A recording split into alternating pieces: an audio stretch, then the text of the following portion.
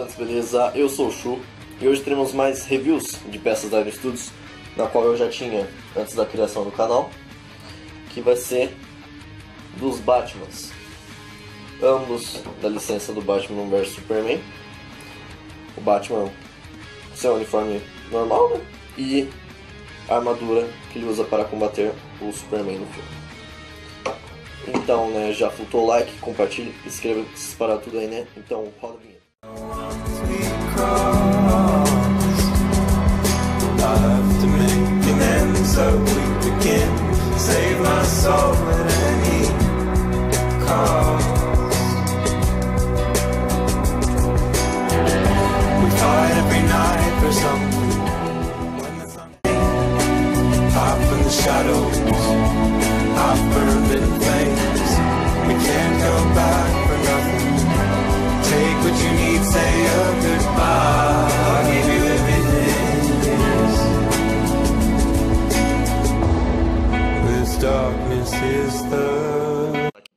Embalagens.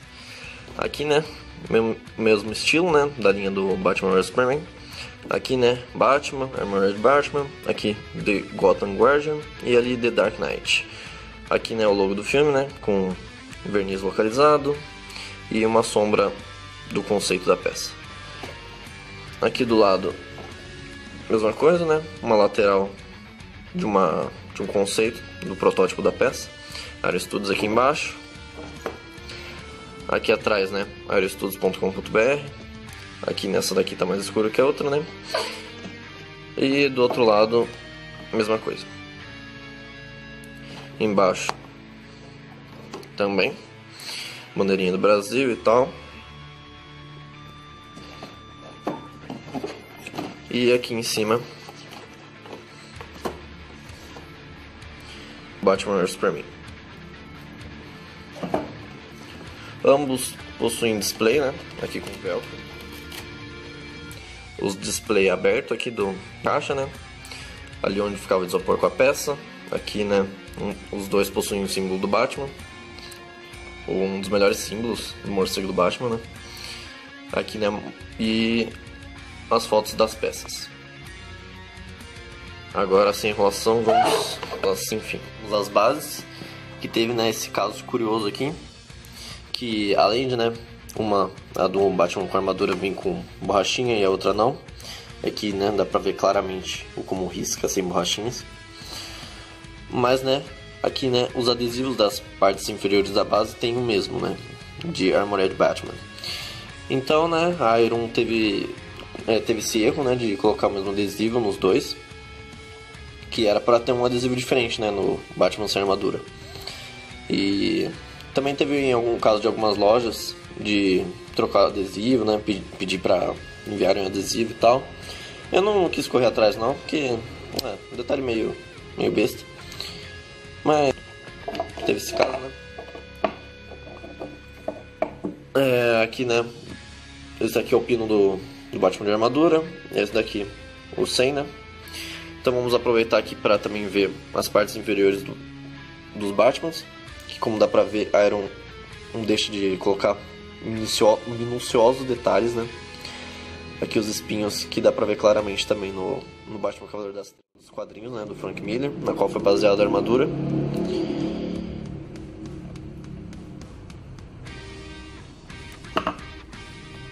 E aqui também, né?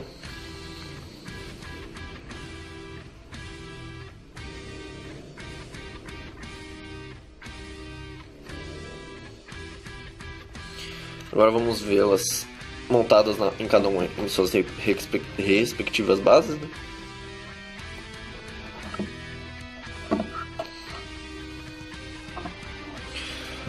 Os pinos né, na base e o orifício ali no pé.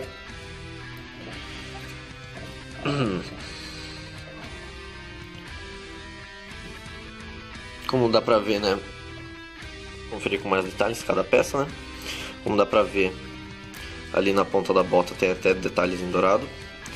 Esse uniforme cinza, né? Criado pelo figurinista, né? Marco Wilkinson, que veio até na CCXP recentemente, né? Nos anos passados. Que fez né, esses figurinos bem remetendo ao é o estilo né, de quadrinhos feito também pelo Frank Miller, né? No Cavaleiro das Trevas, né?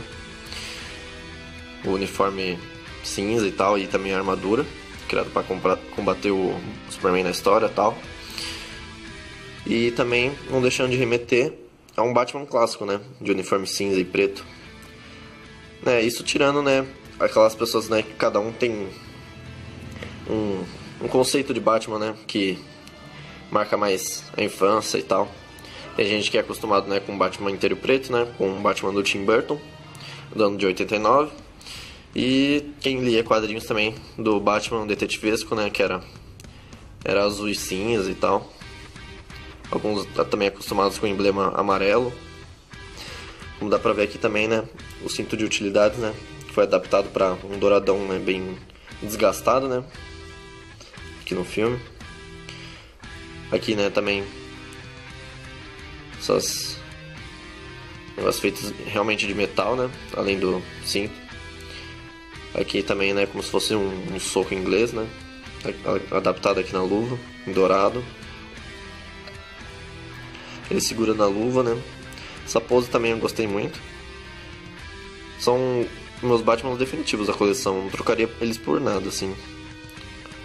Mesmo os Batman mais recentes, né? Versão do Esquadrão Suicida e a versão da Liga da Justiça, esses daqui ainda são os mais legais, na minha opinião. Dá pra ver também o enrugamento né, do, do uniforme, pintura, né? Excelente. Textura aqui do morcego aqui no peito, né? Que também no, nos quadrinhos, né? Eu acho que foi o Frank Miller que colocou isso né, no Calor das Trevas, que deu uma utilidade né, pro símbolo, que é a parte mais resistente do uniforme, né? E também a, a chamativa, né? Mais chamativa para justamente os bandidos, né? Quando forem atirar no Batman, atirarem na parte mais resistente. Tanto que também é referenciado também no jogo Batman Arkham né? Quando o próprio Cavaleiro de Arkham fala para os seus bandidos ficarem atentos, né? Para não atirarem justamente nesse morcego. Esse aqui, né, detalhe da capa em PVC, né? Que tem esse enrugamento, esse tipo, eu gostei bem muito do desse detalhe aqui da capa, né? De ser uma posição é, essa né, essa posição aqui que enquanto a outra é em tecido, digamos, dá para malhar um pouco mais, né? Mas essa pose aqui ficou favoreceu muito a peça. Aqui mais pro lado, ele segurando a, a luva. Vamos ver um pouquinho mais aqui da, da máscara, né? Que também a Iron fez uma das melhores head sculpts aqui, né? Por mais que não seja um rosto inteiro, né? Seja só o queixo aqui do Ben Affleck. Mas fizeram muito bem feito aqui. Justamente na, nas primeiras peças, né? Que elas fizeram, conseguiram licenças de filmes do DCU, né? Aqui também o olho, dá pra ver ali e tal. Dá pra ver mais ou menos, digamos, uma maquiagem ali do, dos olhos, né? Em volta dos olhos. Que tem no filme, né? Esse foca. É, tá difícil. Detalhe de uma, uma barba mal feita e tal. A Iron caprichou bastante. As, orelha, as orelhas mais curtas, né? Do morcego.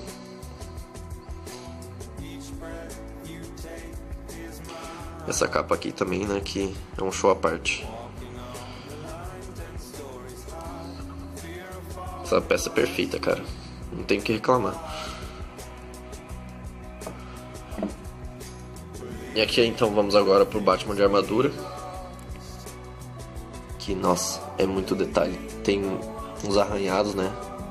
Do combate com o Superman. Essa capa aqui, né?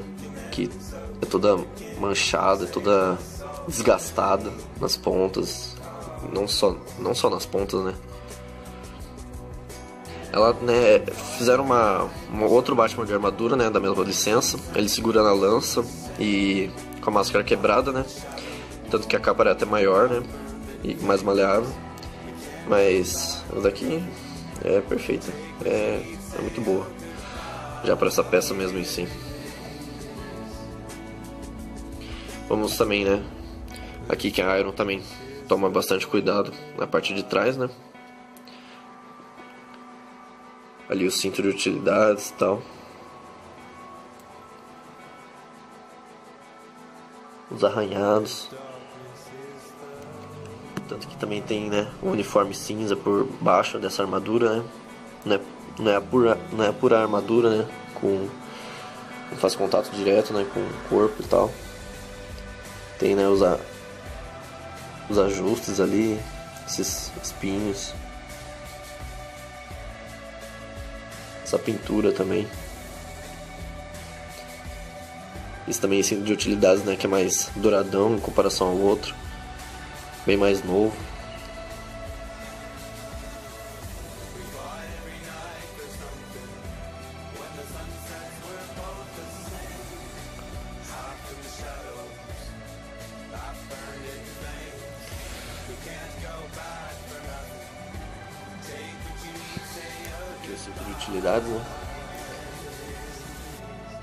Mais novo, né, em comparação ao outro ali. Bem, chama, bem um douradão mais novo, assim. Aqui o detalhe da, da mão.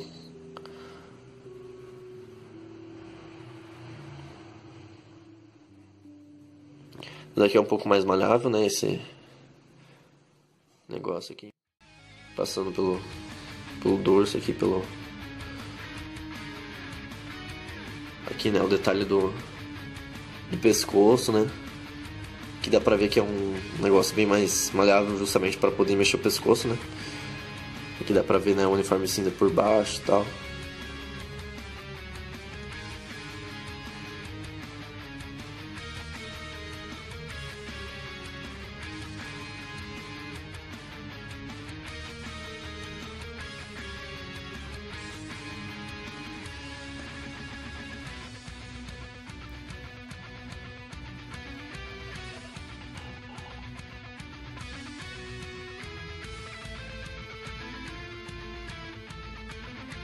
Peça rica em detalhes. Né?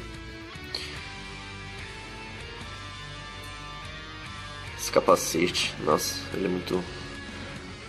Muito foda. Aqui os olhos, né? Que no filme é. Eles brilham e tal. Optaram aqui por fazer um olho branco. Que combinou. Que pra mim funciona. Funciona perfeitamente. Ali o queixo, né?